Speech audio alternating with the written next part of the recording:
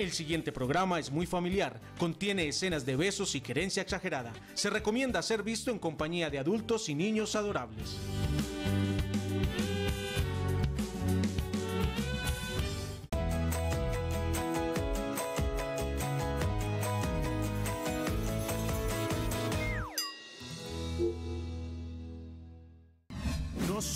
En un arrullo para abrir juntos un camino. Yo te ayudo a empezar el tuyo, tú haces más feliz el mío. Y entre dudas, llanto y caídas, entre risas, besos y abrazos, juntos nos gozamos la vida paso a paso, construyendo desde el amor, hacernos la vida mejor, paso a paso, dejando huellas de dicha y Otra, otra, otra, otra. ¡Ah, bien, bien, bien! Crecemos juntos. ¡Los poncharon jugando!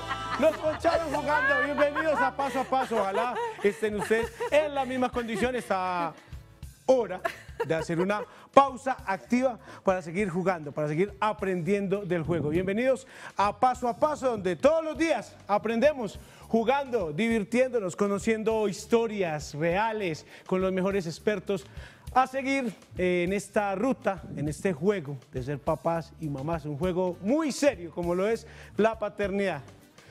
Ay, Moni, siempre encheraste Pues ya por estos días, buenas tardes a todos, gracias por acompañarnos, que hemos hablado tanto de neuroeducación, de la importancia de ese tema.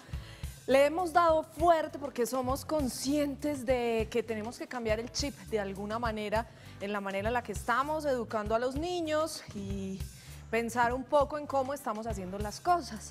Y dentro de todo esto que hemos aprendido, ha quedado muy claro que si bien existe una manera específica bajo ejercicios que plantea la neuroeducación, siempre, aún bajo esa estrategia que plantea aprender, bajo el concepto de la emoción, eh, aún en esas circunstancias hay que hacer pausas activas y levantarnos a jugar.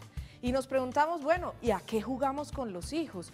Es que tan chiquiticos, recién nacidos, y a qué les jugamos. Y van creciendo y cuáles son los juegos recomendados. Y un juego para la motricidad, para la fina, para la gruesa, otro juego para el equilibrio, otro juego para la agilidad mental, física, en fin, hay tantas cosas a las que jugar sin que ellos se den cuenta de que están aprendiendo y además porque jugar es la mejor manera de aprender. Así es. Y mucho cuidado cuando nos invitan nuestros hijos a jugar y decimos, no, yo estoy muy grande para eso, muy viejo para eso. No, no hay edad para jugar, no hay edad límite para jugar. Si nuestros hijos juegan a ser grandes, a ser papás, pues juguemos nosotros a ser hijos, a ser niños. Siempre queremos buscar en ellos mayor inteligencia, mayor creatividad, mayor comunicación. Pues el juego es eso, la creatividad es eso, la inteligencia divirtiéndose. La línea está abierta hoy, 268-6033, para que nos llamen, nos cuenten a qué juegan con sus hijos, cuál es el juego que más disfrutan ellos, cuál es el juego que más disfrutan ustedes, qué juego quisieran aprender de acuerdo a la edad de su hijo. Mucho que aprender hoy también, 268-6033.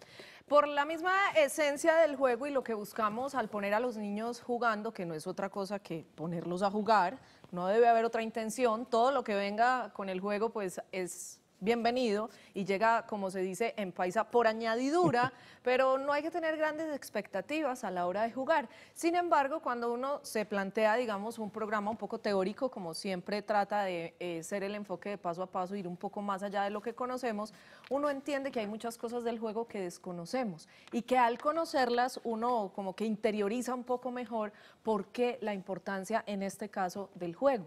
Por ejemplo, eh, los elementos del juego, las etapas del juego. pa- ¿Para qué? Si se debe tener una intención, un objetivo y concretamente nuestro tema de hoy, salir de las dudas como papás de, bueno, ¿qué jugamos según la edad de nuestro hijo? Bienvenidos, aquí estamos todos dispuestos a aprender. Vamos con video entonces, a conocer un poco de lo que son esos juegos de acuerdo a las edades de los niños, los colores, los juguetes, qué escoger, qué hacer con ellos. Empezamos paso a paso. Abre bocas. Ahí está, una guía inicial para escoger qué actividades hacer, cómo empezar a involucrar a nuestros hijos con el juego, que es tan fácil. Los niños de alguna manera están jugando siempre también. Siempre, siempre, siempre. Es que eh, jugar hace parte de la vida, Sí. es imposible separarlo. Lo que pasa es que los grandes desaprendemos un poco a jugar y Nos complicamos a veces. acordarnos más a menudo. Eh, además es una estrategia infalible a la hora de lograr obediencia con los niños. Cuando la cosa no funciona, invéntese un juego y verá que siempre obtiene buenos resultados. Lo que pasa es que no siempre estamos en la actitud de jugar. Así es. Pero si nos ponemos siempre eh, el chip del juego eh, e intentamos buscar salidas a todos esos momentos difíciles de la crianza, de la maternidad y la paternidad y la educación de los niños, y nos inventamos un juego como solución ante cada dificultad, eh, estoy segura que el 99% de las veces salen ganadores. Salen ganadores, salen bien, salen contentos y nos evitamos esas frases de regaño muchas veces. Cuidadito, pues que es que no estoy jugando. A la una, a las dos y a la las una, a tres. las dos y a las tres que no estoy jugando. ¡Qué pereza! Ya se lo dije. Vamos a conocer mucho más sobre este tema. Recuerden, 268-6033 para que se comuniquen con nosotros y vamos de una vez hoy con nuestra experta en paso a paso.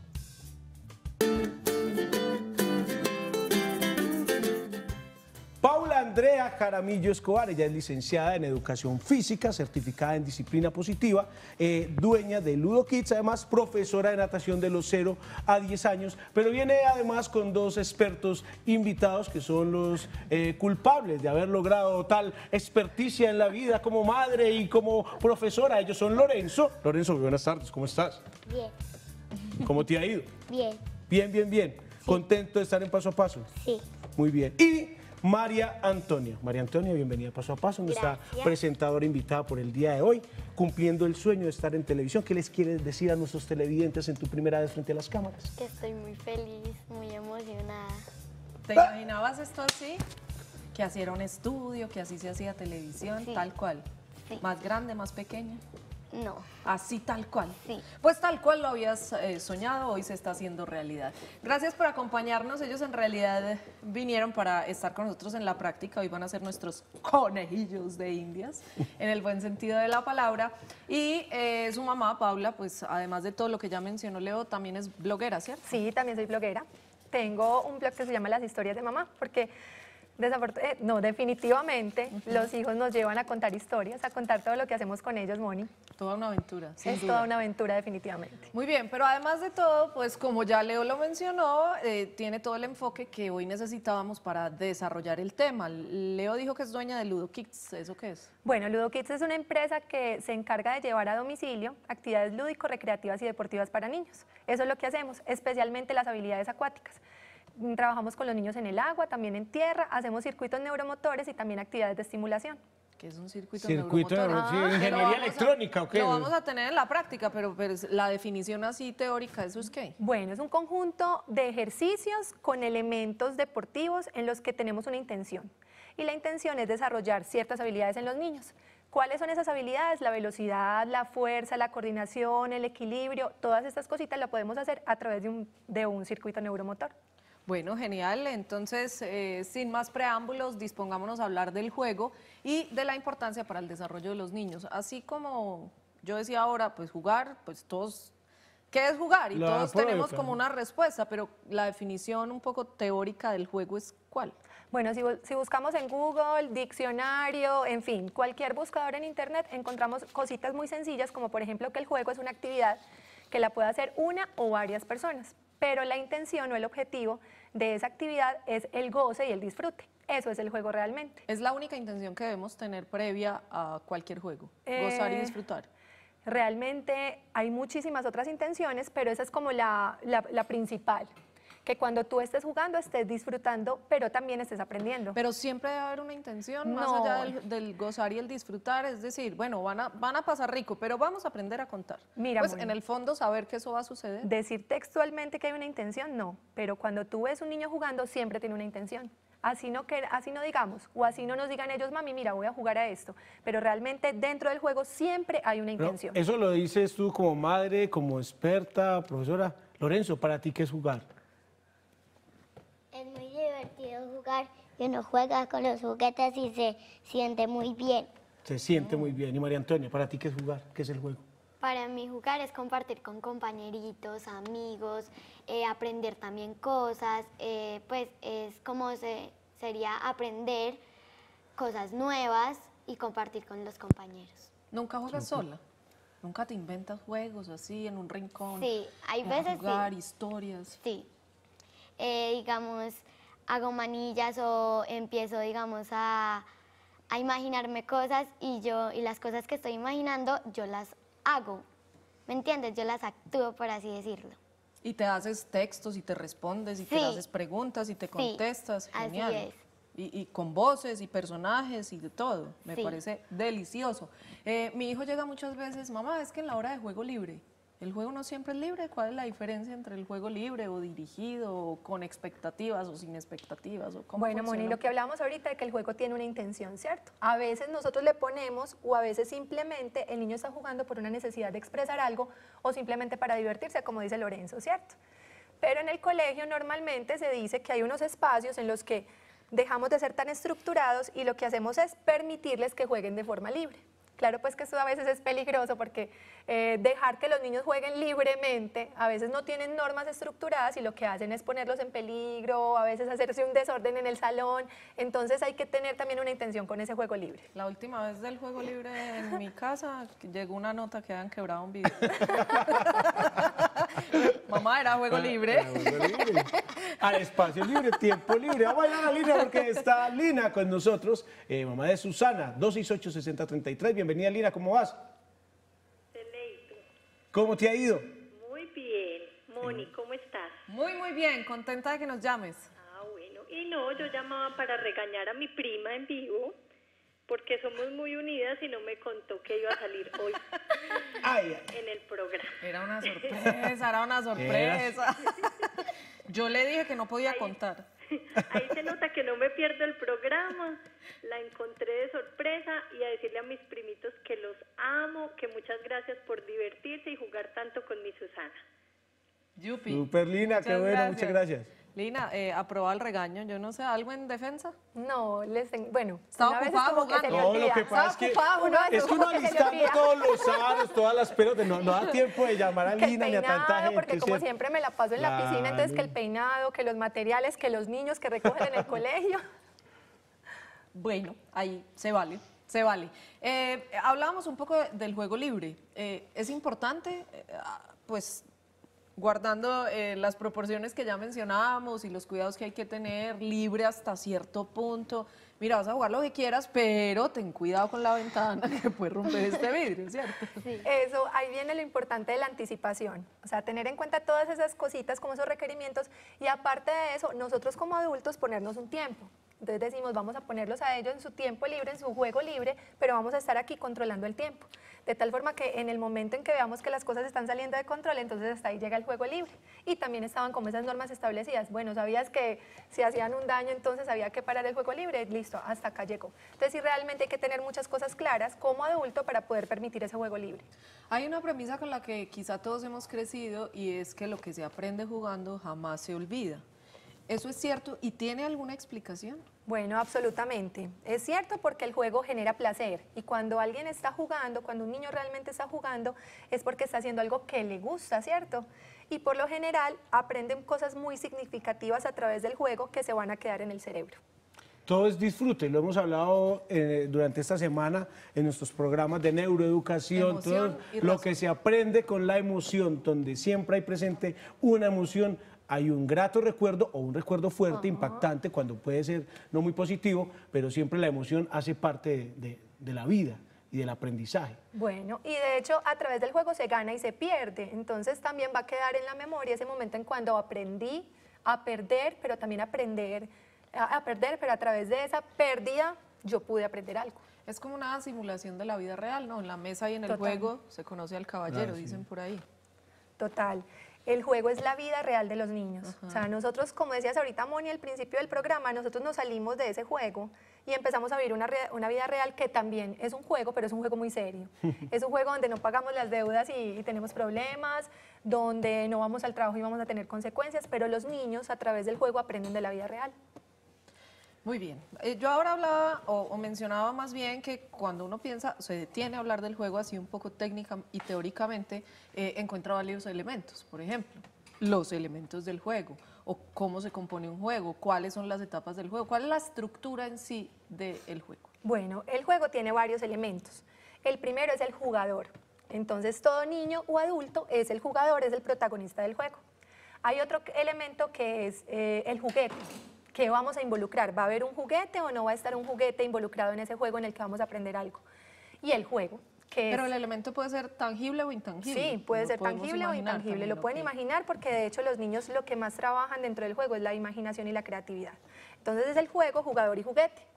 Y estas tres cosas se combinan y lo que hacen es ayudarnos en un proceso de desarrollo de conocimiento de un montón de cosas.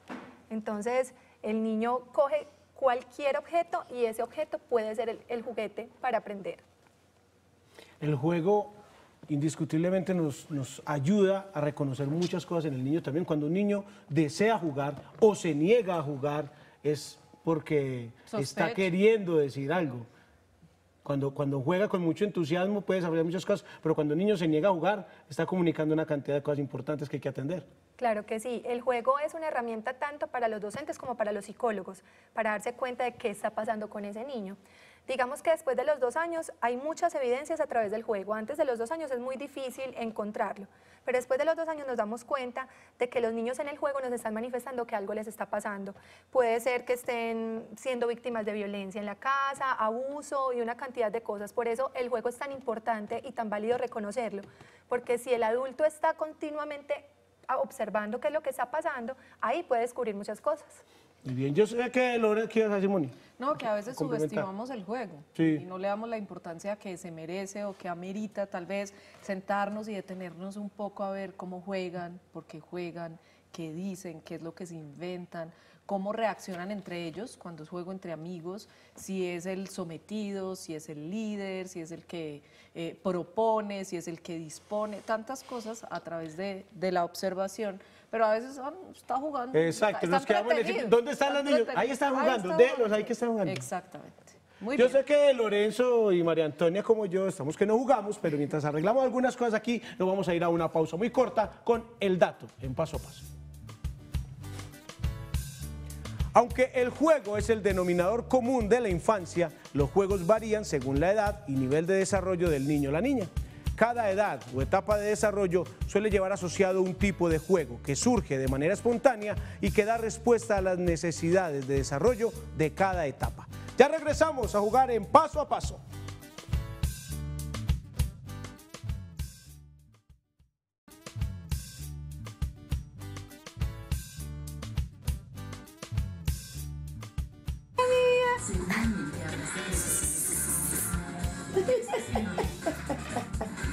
Mariana.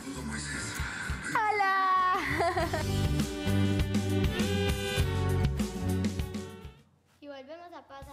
con Mamarazzi. ¡Excelente! Tenemos nuestra presentadora No, invitada. pues, chao, Ah, que les vaya Mónica. Vacaciones, Mónica, vacaciones. Yo Me me quedo aquí. robaron el puesto, Ah, ya más o menos encontré reemplazo. Yo me quedo con María Antonia aquí. Ese era nuestro mamarazzi en paso a paso. Recuerden, paso a paso arroba telemedellín.tv. Videos, fotografías, grandes citas pequeñitas, esos hermosos recuerdos. Ojalá videos de cuando estén jugando en familia. Envíelos, compártanlos para que aprendamos todos acá.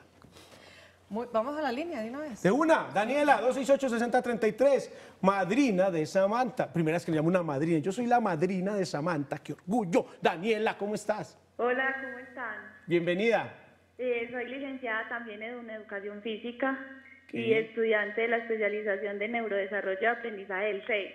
Excelente. Eh, quería participar del tema, pues, en el momento que están hablando del juego libre y la importancia de este para el conocimiento de todo aquello que encierra el mundo del niño. Eh, conocer sus gustos, sus sueños, sus anhelos, hasta sus preocupaciones y las posibilidades que nos permite conocer la vida y el rol del niño dentro de la escuela. Entonces, conocer las dinámicas que se viven en la familia, conocer las dinámicas con sus pares y al mismo tiempo, pues, como conocer cómo se está llevando a cabo esa relación interpersonal entre ellos.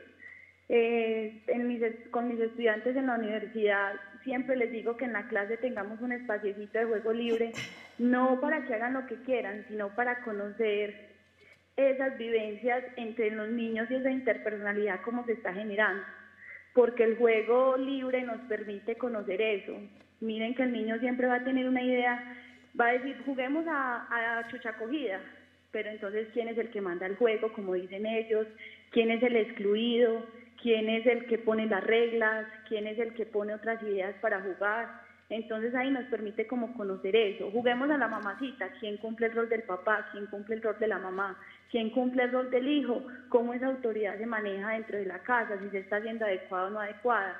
Entonces yo creo que el juego libre es importante, como decían ahorita, siempre y cuando haya un antecedente de normas, vamos a jugar de esta manera, pero permitiéndoles también al niño explorar otras cosas y que ellos sean los que den las propias ideas de cómo jugar a ese juego libre. Exacto, es juego libre, es. pero con límites. Porque entonces a mí me llegó la nota de estaban en el juego libre y sin querer rompieron un vidrio. La consecuencia no pudo salir a jugar en el descanso. Yo, a ver, a ver, A ver, vamos era juego libre, fue sin intención, a costa de que me castigan a mi muchacho. Sí, No, sí. ahí sí, No hay unas reglas claras del juego. Exacto, no, yo les dije, ¿no será que fue error de ustedes que no advirtieron que no era el lugar ideal para jugar pelota, por ejemplo? Entonces, bueno, a, a veces ocurren cosas así y es falta de eh, límites y de anticipación. Muchas gracias, muy valioso el aporte. Eh, quédate ahí en el interno para que tomen tus datos y te tengamos en nuestra base de expertos aquí en Paso a Paso. Muchas gracias. Sí, toda la razón, no, la importancia del juego libre. Eh, me, me gusta mucho lo que ella decía de que a través del juego libre expresan sus necesidades, sus carencias, sus anhelos, sus deseos, sus sueños, porque ellos inventan la manera de hacerlo realidad. Y, y entonces eh, se crean eh, como toda la historia hasta lograrlo. Y pues muchas veces nosotros, si a veces es difícil, ¿cómo te fue en el colegio? Bien. Eso iba a decir yo, Moni, lo mencionamos aquí esta semana en otros programas. Jugando podemos sacar una mayor información de esas respuestas que siempre recibimos como el colegio. Bien, ¿qué hicieron? Nada, ¿qué, qué repa- Lo mismo. Se queda uno con esas respuestas de una sola palabra, a veces una sola sílaba, y, y es muy importante aprovechar el juego para eso. Hoy hablamos de qué jugar de acuerdo a las edades y cómo se dividen las edades según las etapas del juego. Eh, no sé si hablamos las etapas del juego, ya eh, hablamos de los elementos del juego, nos quedaron pendientes las etapas, pero cómo se, se dividen esas edades y desde cuándo empiezan a jugar con los niños, porque es que uno los ve ahí como que miran, lloran, comen, duermen. Pero- y, y entonces, ¿cuándo? Moni, el juego es inherente al niño, ¿cierto? Incluso ahorita cuando Daniela estaba hablando y cuando tú también interviniste, yo estaba que hablaba, estaba que me hablaba, ¿por qué? Porque el juego sí tiene la intención de mostrarnos algo, pero hay varias etapas, ¿cierto? Entonces vamos a hablar de etapas de desarrollo, pero también etapas del juego. Entonces de 0 a 2 años se habla de la etapa, de, la etapa sensorial. Todos los juegos pueden ser relacionados con la parte sensorial. Entonces se pueden trabajar texturas, se pueden trabajar em, temperaturas, un poquito caliente, un poquito más frío, y el niño empieza a conectarse con todas esas experiencias, de los 0 a los 2 años. De los 2 a los 6 años podemos hacer esa, ese juego con mucha intención, de lo que decíamos ahorita. ¿Por qué? Porque los niños empiezan con el juego de roles. Quiero ser bombero, no sé si les ha pasado que el niño dice quiero ser bombero, quiero ser policía, no, pero ya no quiero ser policía, ya quiero ser qué, Lorenzo, ¿ya qué quiere ser? Barbero. Ya quiere ser barbero. Quiero ser, quiero ser gasolinante, me decía. Gasolinante. Sí, cuando fui a tanquear en la bomba y mamá, yo quiero ser gasolinante. Y uno así, sí, el que echa la gasolina. Echa la es gasolina. hermoso. Esa es como la etapa de la, de la ficción también en de los la niños, ficción, ¿cierto? Todo Pero lo es imaginario. maravillosa la fantasía que se incorpora a la vida del niño entre los 2 y los 7 años, que es donde ellos empiezan a creerse ese cuento de que también son superhéroes, de que también se ponen la capa y bueno, yo soy el superhéroe. Interactúan y muestran una cantidad de cosas, pero también muestran lo malo que les está pasando, lo que les incomoda y todavía no es tan necesaria la parte de la socialización. Cero a dos años, cero socialización porque es un bebé egocéntrico, pero no quiere decir que es que se quiera él solo, sino que todavía no ha podido incorporar todo ese entorno a su vida. Entre los dos y los siete años empieza a incorporar su entorno, pero sigue siendo él lo más importante. Después de los seis años aproximadamente, para él es mucho más importante empezar a interactuar y a socializar con sus, con sus amigos, con sus pares. Y con ellos empieza a programar otro tipo de actividades y juegos. Entonces ya ahí es lo que hablamos ahorita a nivel competitivo, entonces tú ganaste o yo perdí, en fin, pero eso también es importante incorporarlo. Pero ese de los 0 a los 2 años, que pues es un rango muy extenso, en dos años lo que evoluciona un niño es una barbaridad, sobre todo en los dos primeros, que el desarrollo es abismal, pues porque en esos dos años eh, obtienen grandes logros significativos en la vida, pues qué sé yo, se sientan, eh, caminan, gatean, caminan, empiezan a comer solos, alimentación complementaria, bueno, eh, hablar, son un- grandes logros significativos ocurren en esos primeros dos años. Y recién nacen, lo que yo decía ahora, pues uno los ve muy bonitos, o no hacen nada. Lo único que uno les hace es morisqueta. digo, Eso es un juego, Pero eso es un juego. Ese es un juego. Lo que tú estás haciendo con tus cambios gestuales le está enseñando a ese bebé, ¿cierto? Es tu comunicación con ese bebé. Cuando le estás haciendo un masaje con una crema, ese es un juego que estás haciendo con él para interactuar con tu bebé, pero también lo estás sensibilizando. Cuando tú lo miras, cuando desapareces, porque para ellos es permanente lo que están viendo en ese momento, pero si desapareces ya no existes. Entonces cuando te escondes, vuelves y apareces, ese juego Anita, también le está Anita, ya. Así E- es. Eso sí, no los tiren para arriba, pues como si el niño fuera el valor, porque eso sí Ay, no tope, es un tope, juego. tope, eso tope, no es tope. el, tope, tope, to, sí. El tope, tope. Clásicos de esa primerísima infancia. de esa primera infancia. De hecho, se habla de que hay otra etapa en la que es de los 10 o 12 años hasta los 18 años, o sea que el juego todavía sigue siendo importante. ¿Para qué es importante? Para que los jóvenes, futuros jóvenes adolescentes, eh, sientan la importancia de respetar al otro, de respetar el turno, de que hay normas establecidas porque ya se está aproximando a una realidad en la que siempre van a estar las normas, el horario de llegada al trabajo, el horario de llegada a la casa, pues mi papá me dijo, Sí. tenés que estar a esta hora, eso se puede establecer desde el juego. Juegos con es- reglas más- más claras. Claro, empiezan a ponerse una cantidad de estrictas. normas que no es saturarlos de normas, sino realmente enseñarles, como decía Moni ahorita, a través del juego se enseñan muchísimas cosas. Lorenzo, ¿cuál es tu juego favorito? Chusa zombie. Y Oh, esto. ¿Eso cómo se juega? Uno, uno es un zombie, lo tiene que coger al zombie y el otro es el zombie. ¿Y uno Los cómo se vuelve un zombie? A Muéstrame. ver, muéstranos. Yo no lo toca y los dos son zombies. Ay, ¿Y cómo ahí el zombie, el zombie? ¿Cómo se vuelve? Eh, Ay, eso Ah, ese no voy a Tiene son súper zombies. ¿Y el tuyo? ¿Juego favorito? mi juego favorito es policías y ladrones. Bueno, es que me sorprenden las respuestas porque, mm, digamos, una queja muy frecuente y un dilema al que se encuentra uno como papá es, por ejemplo, ir a una juguetería, o sea, la cantidad de juguetes que hay que se han desarrollado gracias a la tecnología, eh, que sale este muñeco de moda, el yo-yo no sé qué, o sea, siempre van un paso más allá de lo que quizá nos tocó a nosotros, aún más a los abuelos y etcétera, etcétera. Y eh, uno escucha mucho, eh, a propósito del Festival Buen Comienzo, volver a lo simple, ¿no? De esos juegos tradicionales de la calle. Y oírlos a ellos, pues como que llena el mundo de esperanza, o, o qué hace uno frente a la dicotomía de juegos tradicionales versus esa cantidad de cosas que uno no sabe qué hacer. Bueno, y no podemos negar que estamos en un mundo lleno de tecnología ya. O sea, no puedo- yo no puedo pretender meter a mis hijos en una habitación, encerrarlos y decir no van a coger un computador o una tablet, aunque a veces lo hago. Pero la verdad es que es súper importante mantener esos juegos tradicionales que realmente enseñan a socializar, a interactuar, a aprender muchísimas cosas.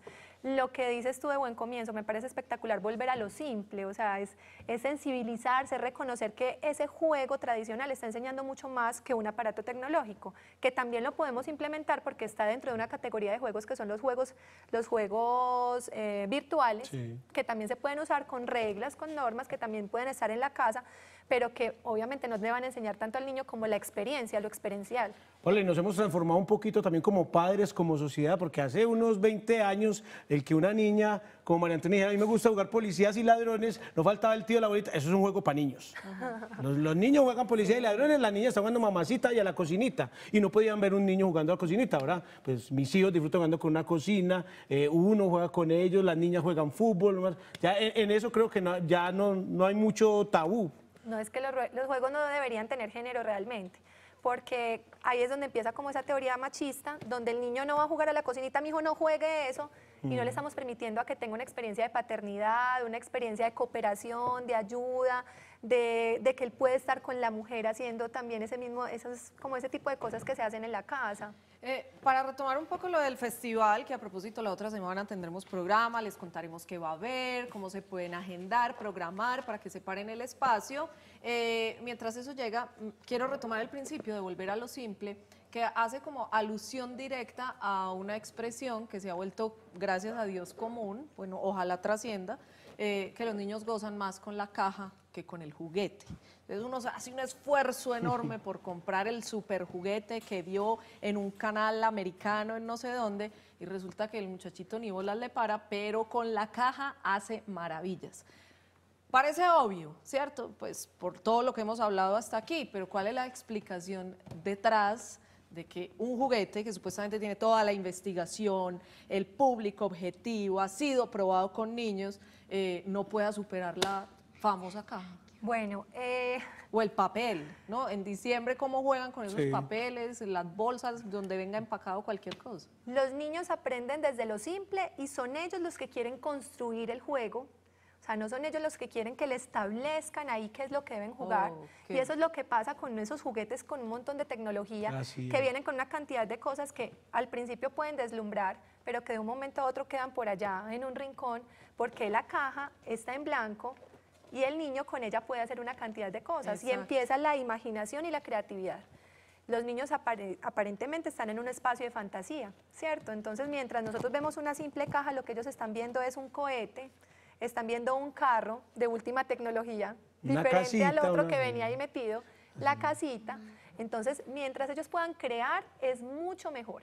Uno es el que se los tira. Y es que, y es Sí, que hay juguetes, que sí, hay, juguetes tan, tan avanzados con tanta que Sí. le leía a alguien un artículo que ya lo que terminó comprando es un espectáculo para el niño, un espectáculo que dura dos segundos mientras el juguete hace todo lo que sabe hacer y ya. Pero Y es por niño- eso. Exacto. No ofrece las mismas posibilidades de la caja, no se puede convertir en mil cosas a la vez. Si es un dinosaurio, es un dinosaurio, que ruge, que hace lo que sea así, pero ya no puede hacer nada más. Mientras que en la caja encuentran toda esa cantidad de opciones, pueden hacer con ella lo que les dé la gana. ¿Cómo llamar? Al 268-6033, donde está Cristina. Bienvenida paso a paso, Cristina, abuela de María Ángel. Bienvenida. Buenas, ¿cómo están? Muy bien, Cristina, ¿cómo te ha ido? Muy bien, gracias a Dios. Te escuchamos, adelante. Ajá, Óigame, mm, mi nieta tiene seis años, pero ella es como muy creativa. Vamos por ahí en algún bus, en algún carro, y entonces ella está como aburrida. Abuelita, vamos a jugar. Bueno, hágale pues, le digo yo. Y entonces empieza a ver, dígame pues, algo que usted esté viendo que empiece por el color amarillo. Y empiezo yo a buscar, ay, yo qué, qué veo por ahí, qué veo, qué veo, un carro, una moto, eh, un árbol, unas tejas de una casa, que el cielo, y empiezan, bu- bueno, abuelita, bueno, y ahora me toca a mí, dígame un color, el negro, y busca, y bu- ah, bueno, hasta que encuentra. Y así nos pasamos hasta que llegamos a la parte donde vamos, pero ella es muy creativa, y si estamos en algún centro comercial o cualquier cosa, es lo mismo, abuelita, vamos a jugar, bueno, hágale pues, bueno, y ya me inventa otro juego, pero así, mire, con nada. Con nada, con ninguna muñeco, con ningún juguete, ni con nada, sino que ella los inventa. Y ella es toda creativa, es toda, sí, sí, muy, tiene como muy buena iniciativa. Así es, Cristina. Y muy bueno que te des contagiar de esa creatividad, porque para los niños, si hay algo importante, es que todo momento es bueno para jugar. Y ya saben cuál es la lugar. respuesta. Bueno, hágale pues. Hágale pues. Bueno, hágale, Hágale pues, juguemos. Divina. Cristina, muchas gracias. Nos vamos a ir rápidamente a la pausa. Ya volvemos con nuestra práctica. Vamos a hacer un circuito neuromotor que puede adaptarse a diferentes edades según la dificultad, la complejidad y las destrezas para las que el niño esté preparado según la edad. Ya volvemos. Nos vamos con la frase al corte en paso a paso. Del juego libre solo tenemos que saber lo que nuestros hijos solo nos quieran contar. Y ya está. No hacen falta más preguntas, sino el saber que ha disfrutado y que nos cuenta aquello que nos quiere contar. Miremos entre líneas si queremos, pero no busquemos más. Es lo que dice Francesco Tonucci. Ya volvemos en paso a paso. ¡A jugar!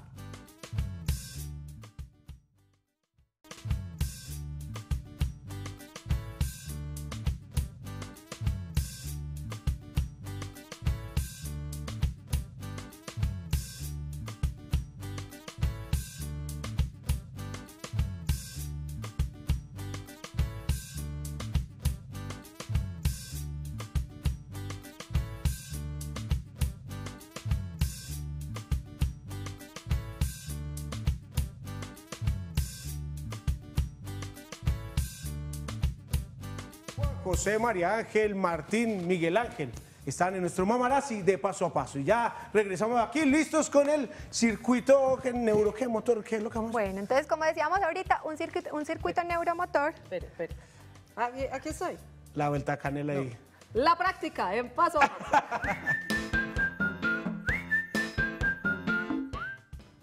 Ahora sí, Ahora circuito sí. neuromotor. Arrancamos el programa con esa definición, pero algunos estaban terminando de almorzar y ya acaban de conectarse. ¿Qué es lo que vamos a hacer? Bueno, desde mi área profesional, entonces yo llevo juegos sencillos, pero que le ayudan al niño a construir, a saber qué pueden hacer con su cuerpo y a través de ese saber también empiezan a tener mayor, o sea, potencializan sus habilidades, velocidad, fuerza, coordinación, en fin.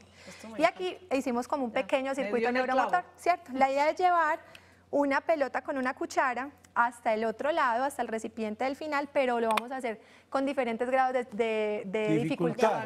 Según la edad, por ejemplo, Lorenzo, Lorenzo le vamos a decir que haga paso, paso, paso, paso, paso, paso, viene y pasa en zigzag por los conos y va a depositar aquí la pelotita, pelota. ¿cierto?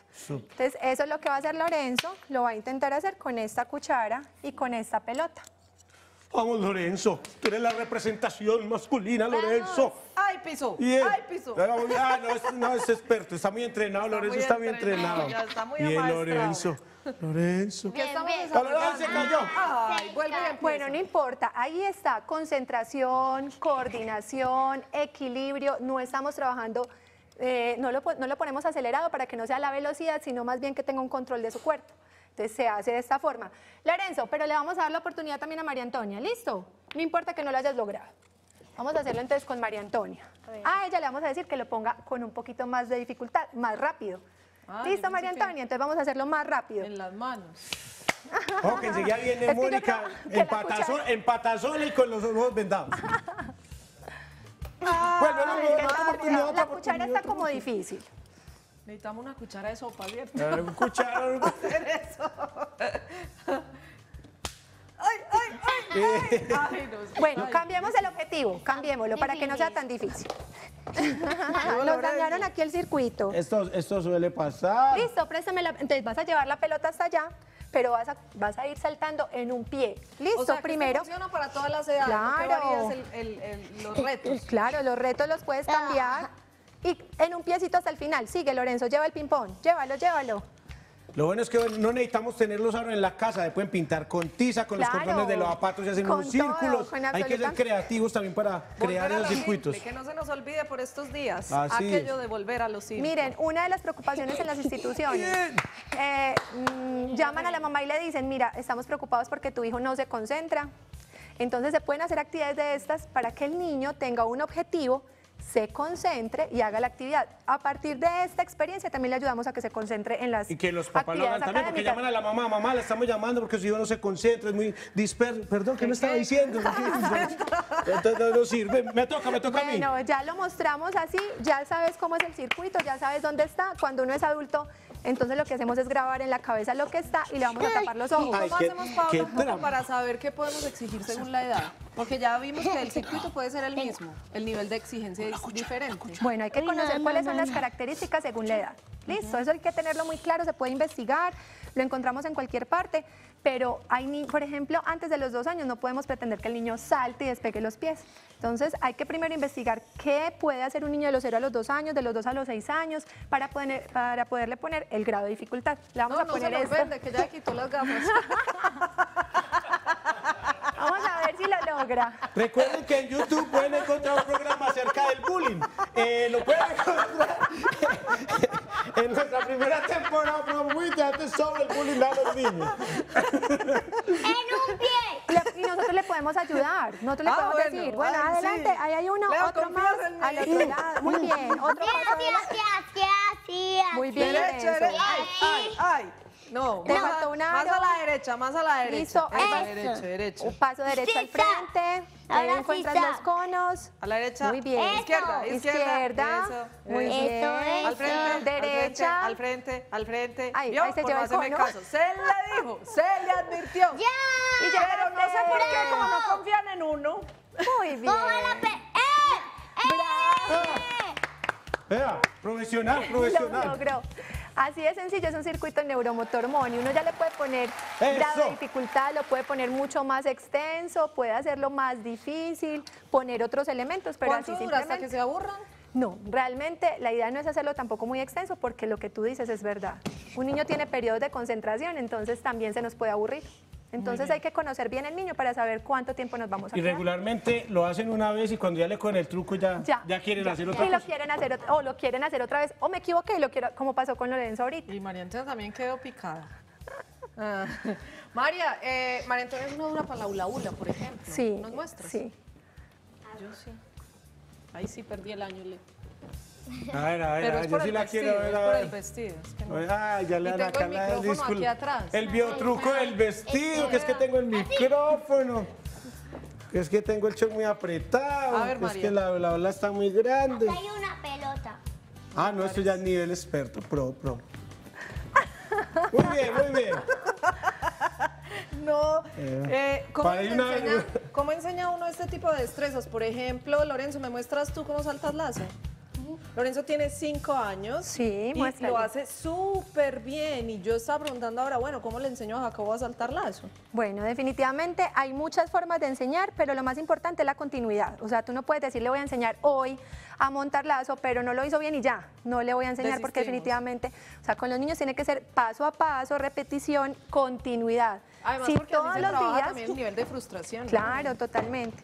Entonces hoy no lo logró, pero mañana vamos a hacerlo. Y también ponerle retos. Hoy lo vamos a hacer tres vecesitas. Listo, llegué hasta tres ahora y él mismo se va a motivar y va a decir, mami, mañana lo voy a hacer hasta cuatro. La idea es primero sensibilizarlo con el elemento. Entonces, por ejemplo, yo cojo el, la- el lazo y primero le enseño qué es esto, qué elemento es este, y miramos a ver qué es lo que hace el niño, que ahí es donde también está el juego libre. Yo le entrego el elemento y yo veo que el niño lo que hace es usarlo como una culebrita y empieza a sensibilizarse con el elemento hasta que empiezo yo a decirle para qué sirve este elemento. Entonces es lo que ahorita decíamos del juego jugador y juguete. Él es el jugador, este es el juguete y nosotros le vamos a enseñar un ejercicio con este juguete. Lora, eh, es que loro. Lorenzo, Lorenzo, sa- salto hacia atrás, hacia Muéstranos atrás. cómo el hacia atrás. hacia atrás. Es un duro, les digo la verdad. Ay, Lorenzo. Bien, bien. Eso. Esta es motricidad gruesa. motricidad gruesa. ¿A qué se le conoce como gruesa y fina? ¿Y cómo eh, estructuramos el circuito para que se involucren ambas, por ejemplo? Bueno, así de sencillo. La motricidad fina es todo aquello que hacemos con las manitos, involucra la, coordi- la coordinación óculo-manual, ¿cierto? Entonces el ojo con el cerebro está conectado con lo que estamos haciendo con las manos, que nos ayuda también en el proceso de lectoescritura. Para lo que es además fundamental el gateo. Claro que sí, es fundamental. Eh, ¿Cómo trabajamos entonces lo que es la parte de la motricidad fina? Trabajamos con plastilina, trabajamos con cosas muy pequeñas, como por ejemplo fideitos, encholar o poner el fideito en una parte. Bueno, yo tengo por acá un juego que se hace con la motricidad fina, que es uno muy sencillo, que es este lazo. Y con este lazo, lo que Ah, le- ¿cuál es? ¿Sabe cuál es? Sí. A ver, apuesto a que no sabe. A tu mamá, ¿cómo le dicen? MacGyver.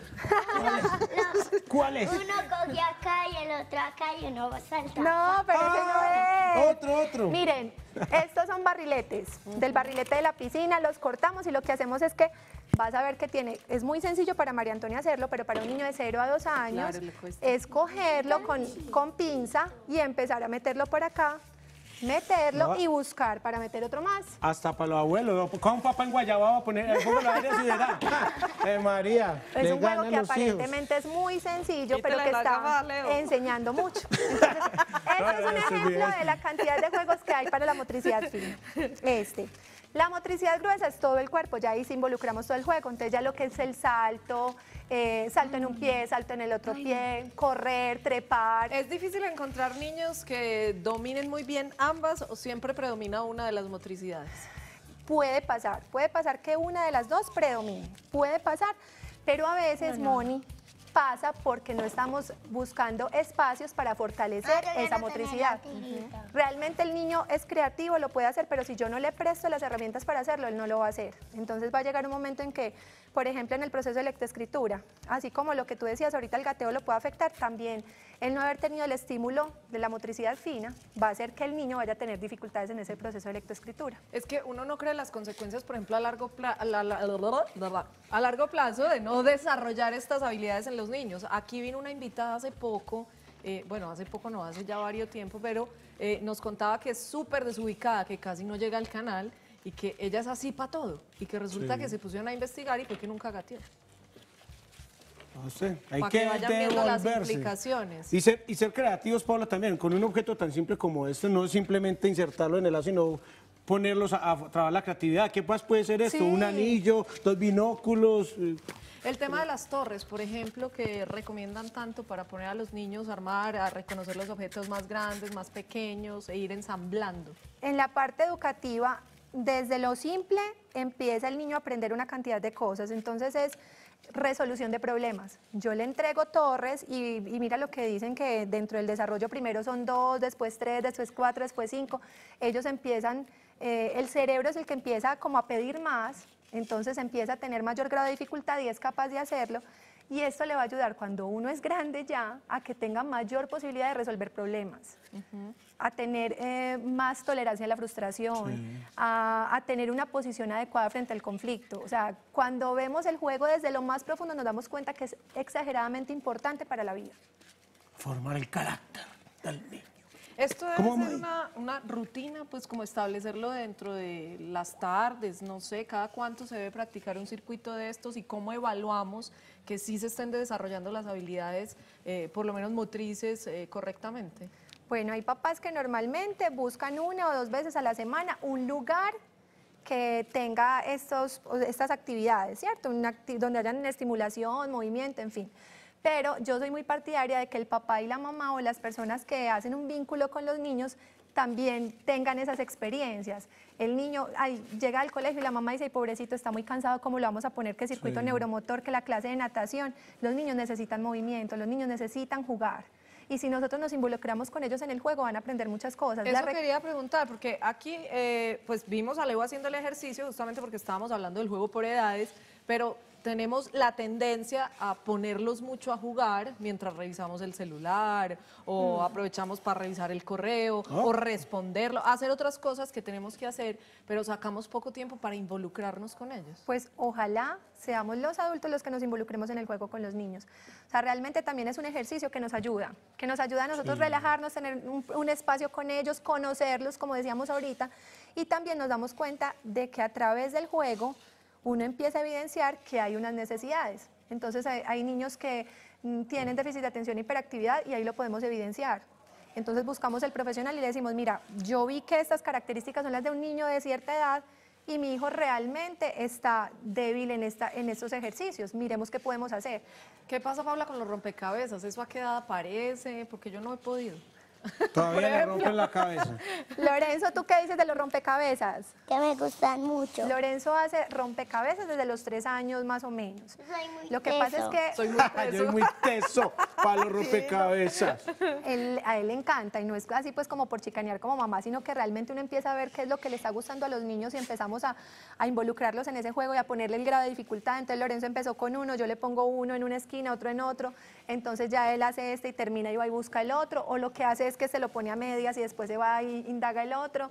O sea, realmente sí hay edades para, para, para ciertos juegos, pero hablando de grado de dificultad, yo puedo poner unos muy sencillos de unas eh, estructuras grandes para que el niño de dos años empiece a interactuar con ellos y a medida que ellos van creciendo, le ponemos el grado de dificultad al pero yo apuesto una cosa, yo apuesto a que Lorenzo no sabe soltar nudos. Sí sabe soltar nudos, como estos. Hacemos el intento. Ay, a ver si sabe soltar inténtalo, nudos. inténtalo. Lo hago, es bueno retarlos a los niños, funciona, cómo hacerlo sin que, sin violentarlos también, sin, sin ponerles unas expectativas muy altas. Vean, mi mayor riqueza como licenciada en educación es la disciplina positiva, ¿cierto? Entonces yo digo que una de mis herramientas reinas en mi profesión es esa. Definitivamente al niño hay que aprender a conocerlo, pero también hay que respetarlo y respetar lo que yo estoy haciendo. La intención del juego, la intención del juego es alcanzar un objetivo mío como profesional, pero también que el niño alcance un logro, ¿cierto? Entonces yo sí lo puedo retar, pero dependiendo de cómo es mi comportamiento cuando yo lo estoy retando. Exacto. A ver, usted sí es macho, entonces salte, ¿cómo está? Porque eso lo han hecho mucho los papás. Juegue fútbol, mi hijo, pero es que usted es macho, hay que jugar fútbol. Pero si a él le gusta patinar, entonces ¿cómo nos vamos a ir por el lado del fútbol si no le gusta Sí, aprender a sí. través del fútbol? Entonces hay que conocerlos, hay que tener una...